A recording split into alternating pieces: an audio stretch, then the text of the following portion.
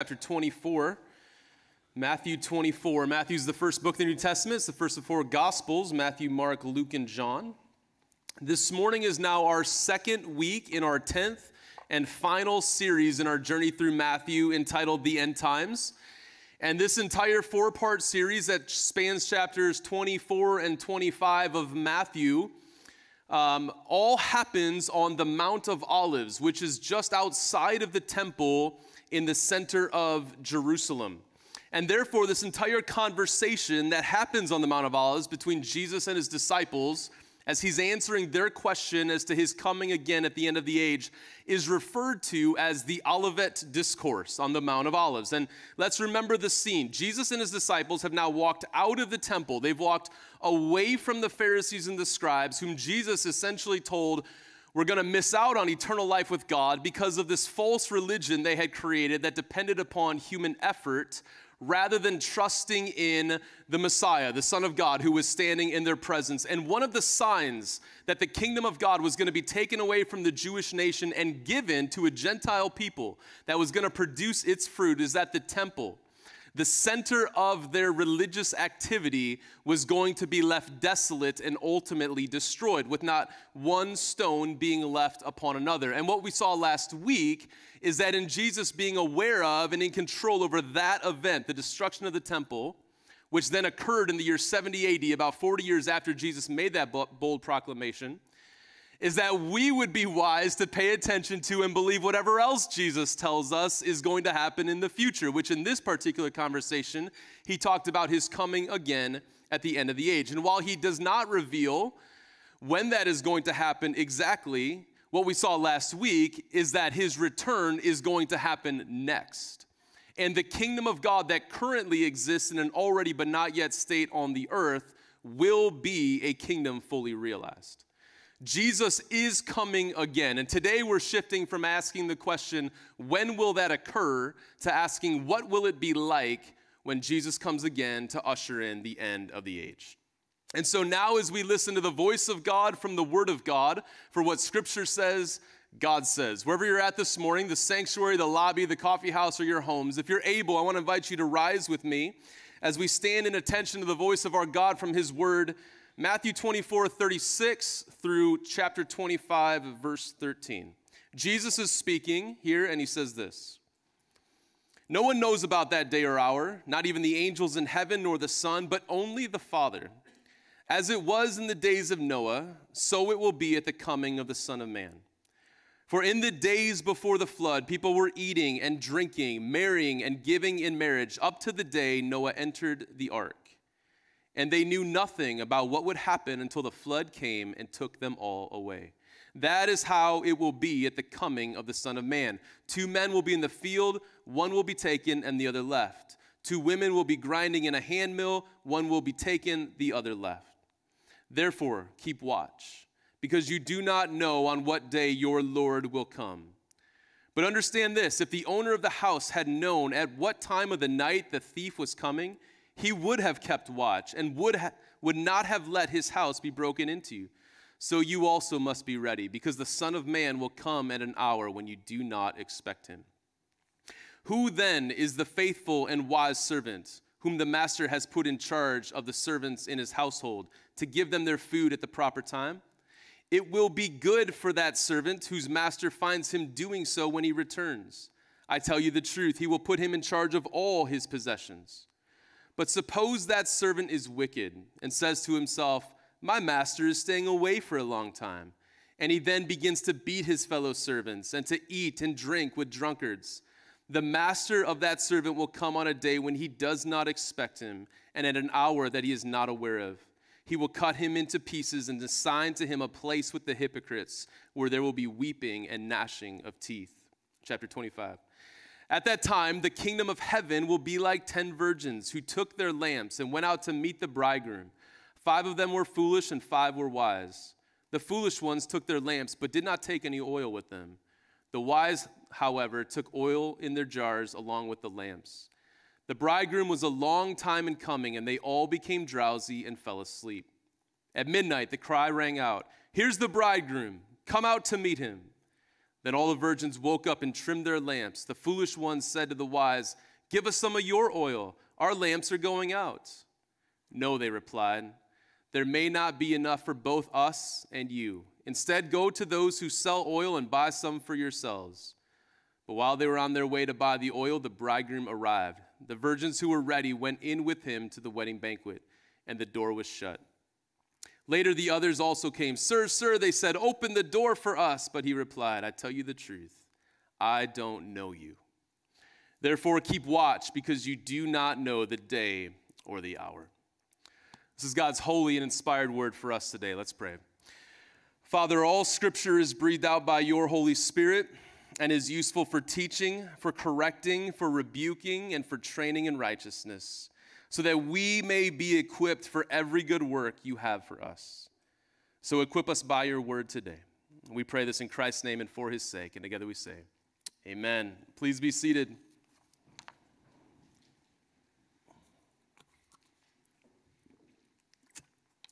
How does the biblical teaching about the end times, the reality that Jesus is coming again as the Messiah, as the Christ, to usher in the end, the end of this world and the beginning of life everlasting in the new heavens and the new earth, as we read about last week in Revelation 21, how does that belief affect the way we live today?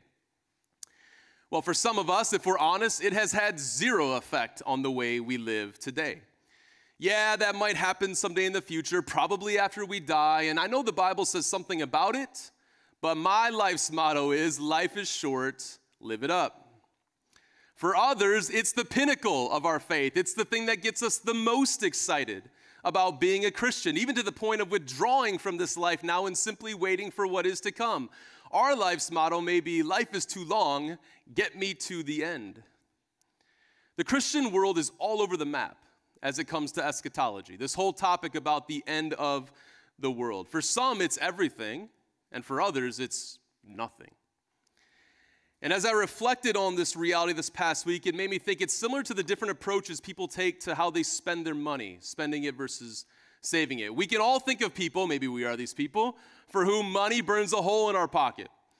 And, and why would we think about tomorrow? Why would we save for tomorrow when we can buy or experience something today, right? We live in the moment and we'll worry about tomorrow if and when it comes. But we can also think of people, maybe we are these people, for whom spending a dollar requires a committee meeting, right? And every dollar is measured and directed, usually into a savings account or a 401k, because who cares about today if I might go hungry tomorrow? I had a friend who, at the end of their life, just could not break out of this method and could have spent their money on much better health care and services for themselves as they lived in an assisted living home and they just they couldn't do it and they died with millions of dollars in the bank why is it so hard to strike a good and healthy balance as, as it comes to spending and saving our money i think the same question could be asked of christians and our approach to this future reality why is it so hard to strike a good and healthy balance as it comes to how we deal with the reality that Christ is coming again at the end of time and how we are to live today in that reality. This, I believe, is Jesus' goal in this portion of the Olivet Discourse. The end of chapter 24 and the first two parables of chapter 25. We only read the first one. I'll summarize the parable of the talents when we get to point number three this morning. But these three sections, the end of 24 and the first two sections of 25, combine to give us a picture of what it looks like to hold intention the reality that Jesus will come again to usher in the end of the world and how it is that we are to live as we wait for that day. In a world and culture where people seek to live on the extremes, Jesus gives us a healthy perspective, a proper balance for living as Christians in the already but not yet of the kingdom of God. And so, what we want to see in our text today is that because Jesus' return will be sudden and final, we must stay awake, watch, and be ready by investing our lives in God's kingdom and for his glory. We'll see this first in the sudden and unexpected nature of his return. Second, we'll see the finality of his return. And third, we'll hear the call for how we are to wait for that day. by investing our very lives. And so, first, let's see the sudden and unexpected nature of Jesus' return. This links us back to what we said last week that nobody knows when Jesus is coming again, but we do know that the next thing to happen on the timeline of salvation history is that Jesus is coming back. And so it's near in that sense that, it, that it's the next thing to occur. All those signs that Jesus told us about in the first 14 verses from last week's text have been happening since the first century onward. And therefore, the conditions are right for his coming again. It's going to happen, and it's going to happen next, whether that's 200 years from now or two days from now. When Jesus returns, we cannot say we did not know he was coming. And when that day happens, it will be sudden and it will be unexpected. He says his coming will be like it was in the days of Noah, verse 38. For as in those days before the flood, they were eating and drinking, marrying, and giving in marriage until the day when Noah entered the ark, and they were unaware until the flood came and swept them all away. So will be the coming of the Son of Man. Now, in that day, people had warning. Noah and his family preached the gospel. They called people to repent of their sin and to trust in God, just like today. But just like today, many, if not most people, laugh it off and go about their normal business. And it was in the course of that normal business, as they ate and drank and did the normal routines of life, that the rains began to fall. To say that Jesus' return will be sudden is to say it's going to be quick, it's going to be without warning and will be unexpected. God will not broadcast to the world, you got one more week, you got two more days, five more minutes. But it'll come, as Jesus says in verse 43, like a thief in the night. And no thief warns or announces that he's about to enter your house. So, what are we called to do with that reality? What does it look like to strike a good and healthy balance as it comes to the suddenness and the unexpectedness of Jesus' return? Well, he tells us how we are to respond in verse 42. He says, Therefore, stay awake, for you do not know on what day your Lord is coming. And then verse 44 Therefore, you also must be ready, for the Son of Man is coming at an hour you do not expect. Think about that thief again who may come in the night. No one knows if they'll ever be robbed unexpectedly by someone as they sleep. But many people prepare for that day, right? And they try to prevent it from happening, but if it does happen, they're ready. And so they purchase security systems and they install cameras and they lock their doors at night and they keep their cell phone by their bed. Some even purchase a self defense weapon. They're ready, they're alert, so that if or when it happens, they are not caught off guard. And in using that example, Jesus is calling his disciples to be ready when that day happens. Be prepared now before it occurs. You don't need to purchase a security system, but you need to know that your soul is secure so that when Jesus returns, in the suddenness of that moment, your response is joy and delight because you were ready rather than terror because it caught you off guard. There's no five minute warning. When he comes, we're either ready or we're not. And he is imploring you. Verse 44 Be ready, for the Son of Man is coming at an hour you do not expect. Second, this morning, let's see how Jesus' return will not only be sudden, but it's going to be final. And to get this point across, Jesus tells us the parable of the ten virgins, which in that day would have been the the bridal attendants, the, the wedding party. They would have been young and not yet married women, and all 10 of them go out to wait for the bridegroom, whom they knew was coming.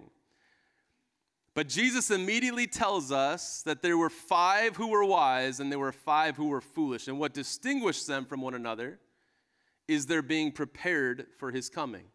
They needed to be able to light their lamps when he showed up. And yet, five of these women were foolish and took no oil for their lamps. They were missing an essential element for his coming the oil in their lamps. A few weeks ago in chapter 22, we heard the parable of the wedding banquet. and how what was required to enter the wedding banquet was the wearing of the wedding clothes. Right? You need to be clothed with and covered with the perfect righteousness of Jesus Christ, apart from which no person will enter into eternal life with God. And here we see the same truth conveyed in a different parable. There was something required that we possess when the bridegroom showed up. And in this parable, it's the oil. And if you don't have it, there's a big problem. And five of these women did not possess the oil, they didn't have it. And so when they realized that the moment is upon them, that the bridegroom has returned, they had to try to rush off and buy it quick in the market. But it was too late. And they come back and they plead with Jesus, verse 11 Lord, Lord, open to us. But he answered, Truly I say to you, I do not know you. Five of the worst words I think you will ever hear. And in that moment, it was too late because the moment of his return is final. And so the question for each one of us is do we have what is required, what is necessary? There are no second chances. There is no purgatory where you go and you sit and you wait and you hope to be cleansed. When Jesus returns, we either enter into eternal life with God because we have been clothed with the perfect righteousness of His Son, or we enter into eternal separation from God. And twice in this section, Jesus describes hell as being a place where there will be weeping and gnashing of teeth. And therefore, the call for every person is to individually, personally respond to the gospel. It didn't matter that they were part of the wedding party. Every bridesmaid's, bridesmaid was judged on her own merit, on her own righteousness, and whether or not she had what was required. so I want to sit in this awkward space for a little bit longer this morning. Because I think part of the reason why Jesus tells this parable in the way that he does is to wake up some of us within the church who are part of what we call the visible church, but not yet part of what's called the invisible church. And maybe you've never heard that distinction, so let me explain it for you this morning. The visible church, what we see with our eyes, is made up of people who are saved and at times, unfortunately, those who are unsaved. Who gather together Sunday after Sunday to worship, who give of their time and their talents and their treasures, who try to live good lives and who do lots of religious things, some of whom are saved and some of whom are unsaved. The invisible church, which only God sees, are those whose names are written in the book of life. Those who have had their hearts regenerated and brought from death into life by God's grace alone, through faith alone, in Christ alone. Those who are truly saved.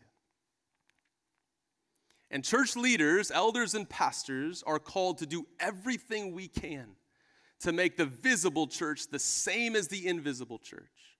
It's why we do things like elder interviews and require professions of faith to be made when people join the church, and why we're starting to take shepherding seriously because we want people to be assured to the best of our ability of our standing before God. To testify that, yes, we see genuine faith within our lives. And yet, throughout the scriptures, including this parable, we are told that there are those who, according to 2 Timothy 3 5, have the appearance of godliness, but their hearts and the things that they love can testify to a different reality. Think of Judas, who walked with Jesus for three years as a disciple before ultimately betraying him unto death. Remember what Matthew or Jesus said in Matthew 7 in the Sermon on the Mount. He said, At the end of days, when I return, many are going to say this in verse 22 Lord, Lord, did we not prophesy in your name and cast out demons in your name? And Jesus says his response is going to be this in verse 23 I never knew you. Depart from me, you workers of lawlessness. And that same response is given in this parable. Lord, Lord, open to us. But his response was, I never knew you. And so I think Jesus is trying to prick the hearts of those who have been part of religious communities, who think they're saved but have not yet crossed over that line of faith. Because this parable is all about 10 people who, on the outside, they look exactly the same. They, they dress the same, they do the same things, they're categorized the same, they're all part of the bridal party, and yet five were clearly different from the others. There were some who are wheat, and there are some who are tares. They grow up similar, looking alike, and at the end, some prove to be true and some prove to be false. And so Jesus is warning us here in this moment. In the moment of his return, it will be final. And there is going to be a separation that occurs between those who have the oil, who are wearing the wedding clothes, who have put their faith in and depend upon Jesus Christ alone for their salvation, and those who simply look the part who depend upon things like being born into a Christian family, having been baptized at some point as a baby, church attendance, giving records, even their own morality. When he comes, his return will be final, and the call for each of us is to be ready to watch and to ensure that we are trusting in Christ alone for our salvation.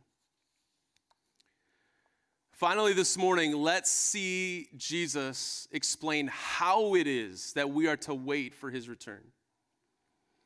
We started off this morning asking if there can indeed be a good and healthy balance as it comes to living life on this earth now while also eagerly awaiting Christ's return, so that we neither withdraw from life completely nor see this life as being ultimate. And we've already said that the reason we're called to watch and be ready is because when he returns, it'll be sudden and it'll be final. And yet, Jesus does not give us the call to simply climb up onto the roofs of our homes, stare up into the clouds, withdraw from life, and wait for him to come back. But to show us what we are to do, he tells us another parable, and it's the parable of the talents. And I would encourage you to go home and read it today, whether you're familiar with this parable or not, and to see it in this context the context of his coming again at the end of the age. And I'll summarize parts of it for us this morning. At times, people assume it's talking about personal talents, like being good at playing instruments or having athletic ability. But as we saw weeks ago, talents in this day were a large amount of money 20 years' wages, right? So, depending on income, anywhere between one and three million dollars was a talent. And so we're talking about money, and Jesus says the master gives three different servants three different amounts of money. To one, he gives five talents, to another, two talents, and to another, one talent. All generous and substantial gifts. And the first two servants take the talents that they've been given and they invest it, and they end up producing double what had been entrusted to them. Meanwhile, the third servant, out of fear, fear of either having to give back to the master whatever he produced or losing what the master had entrusted to him, go and bury the talent in the sand and does nothing. And when the master returns, he says to the first two servants this in verse 21 Well done, good and faithful servant. You have been faithful over a little. That's funny. I will set you over much. Enter into the joy of your master. Don't miss that Jesus just called five talents and two talents, right? Five times one to three million dollars. Little compared to what will be entrusted to us as we enter into eternal life with God, the joy of our master. There is so much more yet to come. Meanwhile, the one who buried what he was given was told this in verse 26 you wicked and slothful servant, take the talent from him and give it to the one who has the ten talents. For to everyone who has, more will be given, and he will have an abundance. But from the one who has not, even what he has will be taken away.